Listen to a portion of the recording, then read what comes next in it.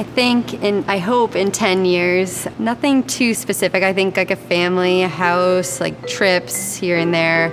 Um, Nothing too specific. She has a Pinterest page for like every one of these things. no, no. I think just being able to live life to its fullest because you kind of never know where life is going to take you. And I hope I'm open to that.